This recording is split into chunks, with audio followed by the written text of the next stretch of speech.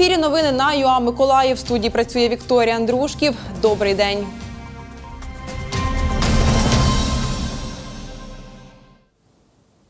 За фактом бездіяльності посадових осіб Миколаївської державної адміністрації та обласної ради, яка призвела до пограбування комунікацій та руйнування елементів будівлі кінотеатру Іскра, у поліції відкрито кримінальне провадження. Розбиті вікна, вибиті двері і дах, що протікає. Кінотеатр Іскра, що закрили через непотрібність та нерентабельність, перетворився на руїну. На цьому місці мала би бути обласна філармонія, але через недомовленість депутатів обласної та міської рад цього так і не сталося. 1 квітня 2018 року охоронна фірма Оріон Юх розірвала договір із Миколаївською філармонією на охорону будівлі кінотеатру Іскра. Причина борг перед фірмою в 112 тисяч гривень. Протягом року кінотеатр перетворився на руїну. Орган управління, тобто балансоутримувач, відповідає повністю за стан іскри. Не обласна рада в особі голови Москаленко, як кажуть деякі ЗМІ, а саме орган управління, це управління культури, Миколаївської облдержадміністрації, балансоутримувачем якого є е, саме це управління. Йому вірили. Ми побачили, що орган управління з цією функцією просто не впорався. 17-18 рік ми охороняємо за, е, за власні кошти, так, але в нас там тільки е, денна охорона. Це точніше не охорона, а просто присутній черговий, е, який там знаходиться. А за відсутністю будь-яких комунікацій, ні води, ні електропостачання, ні каналізації, ні опалення, то там дуже важко знаходитись цілодобово. не могла філармонія е, платити, тому що в бюджеті не дали ці кошти. Дали на оренду приміщення, а на охорону охороняється два приміщення: і Василевського, і Іскра. То як зробити? Кошти йдуть, на землю йдуть кошти, а їх немає. У 2012 році з міської комунальної власності будівлю кінотеатру передали на баланс області. Там планували розмістити філармонію. Міськрада і облрада домовились про цю передачу, і був потім наказ е, на передачу. Це все було в жовтні місяці. Е, Але фактично е, передача відбулася вже в лютому 2013 року. Протягом цього часу, на жаль, там було знято охорону. Перед тим, як підписувати акт передачі, я казав, що як я можу підписувати, якщо всього, е, що там написано, його нема. А то мені сказали, що ти тут ламаєшся, через тиждень обнесуть парканом це все, зайдуть будівельні машини і воно все одно викинеться на сміття. Фактично ми е, прийняли стіни, які і досі намагаємося охороняти. Олександр Добровольський говорить, будівля кінотеатру у спальному районі міста не підходила під філармонію. Там не було ані сцени, ані гримерок, ані акустики. Отже, будівлю мали перероблювати повністю. Якби почалася реконструкція, то все те, що там є, воно фактично було б зруйноване. Тому що все це приміщення, е, яке зараз е, є в вестибюлі, е, це повинна була бути опора, основа для другого поверху, який треба було добудувати. І навіть е, та частина, де сходи, зараз вони теж заходили б в територію будівлі. За 800 тисяч гривень було зроблено проєкт реконструкції та виготовлено кошторисну документацію. Управління культури не може, бо в нас не було фінансування на нього. Зробили е, управління капітального будівництва кошторисну документацію на 415 тисяч, і з того часу нічого немає. Директор філармонії Олександр Добровольський говорив, що будівля охороняється, а вибиті двері закрили фанерою. Але як бачимо, охорони немає, а на територію може зайти будь-хто. В травні у будівлі двічі сталися пожежі. 22 травня, а, і це не поодинокий випадок, е, за адресою Курортна 1 в неексплуатованій будівлі, а це колишній кінотеатр Іскра, виникла пожежа, яку гасили два відділення третьої та другої державних пожежно-рятувальних частин і чергова зміна оперативно-координаційного центру. Е, Слід зазначити, що пожежу ліквідована на площі 30 метрів квадратних. Це було сміття, і її спричинило необережне поводження з вогнем невстановленою особою. 31 травня до Заводського відділу поліції надійшло повідомлення про пожежу у приміщенні кінотеатру. Перевірка виявила, сміття підпалили діти.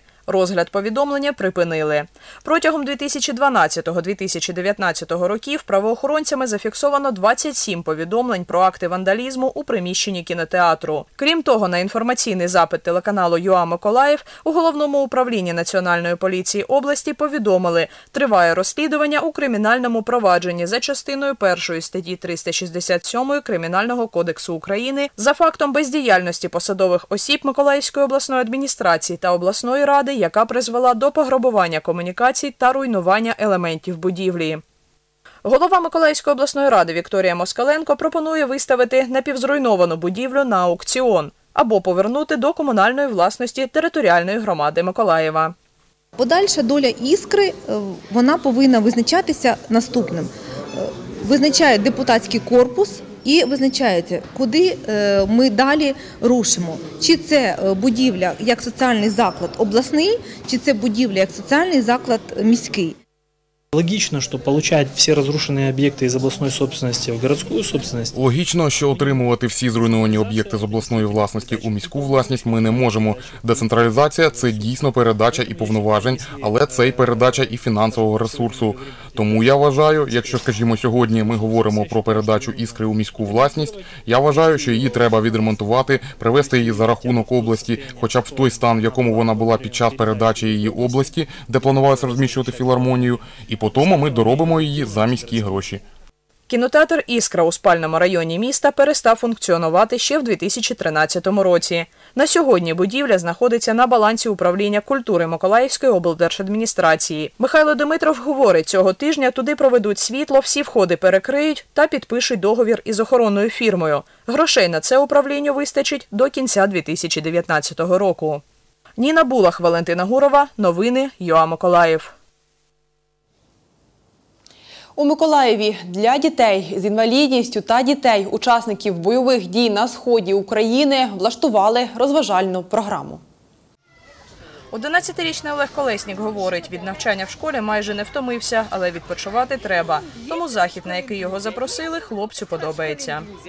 Ж Треба ж канікули якось весело провести, відпочити, набратися позитиву, ну і гарно провести час.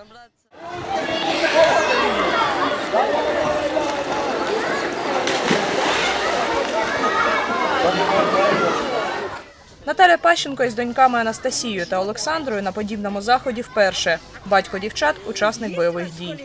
Я думаю, що програма буде дуже добра як для розвитку дітей. е, Повчальна програма буде, щоб діти знали, що, як, до чого.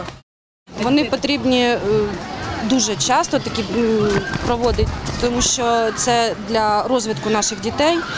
Е, У нас діти дуже є тяжкі і не дуже. Вони потрібні. Для розвитку дітей вони потрібні. Я вважаю, що е, це дуже добра справа для усіх, і для дорослих, і для дітей. Поспілкуватися з дітьми приїхали інспектори патрульної поліції. Такі заходи дуже є важливими, тому що е, це дітей може згуртувати, може е, їх е, да, навчити спілкуватись один з одним. Ми тут сьогодні, да, ДСНС, для того, щоб їм розповісти щось корисне, для того, щоб вони запам'ятали в своєму житті це і використовували в майбутньому. Представники Державної служби з надзвичайних ситуацій навчали дітей рятувати утопаючих. Держим круг параллельно до воды. В идеале одной рукой. Ось тяжело двома руками. И бросаем, чем можно ближе до пострадавшего. Не на пострадавшого, що ні в коем случае не ранить його не притопити ще. А чем можна ближе до пострадавшого.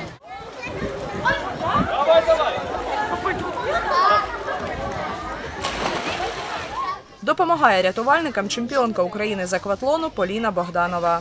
Хочу показати людям, як треба списати на воді, щоб е, коли щоб вони доказали першу допомогу людям. Подібні заходи волонтери організовують втретє один раз на рік. Це дуже важливо, так як ми збираємо дітей з ем, інвалідністю, ті, які собі не можуть дозволити такий відпочинок. Е, Більшість дітей навіть не може з'їздити на море, тому що це важко і, е, на жаль, немає інклюзії. Е, Тут все це е, є. Плюс е, ми збираємо діточок з сімей загиблих. Так вже 5 років триває війна в Україні, і ми не можемо їх обійти увагою. Ми нічого ми нічого нікому не хочемо сказати. В принципі, ми живемо заради наших дітей. Це щорічний захід, який ми намагаємося і будемо робити далі. Ми зобов'язані це робити. Ми робимо це просто заради посмішок дітей. Валентина Гурова, Юлія Кускова. Новини Йоа Миколаїв.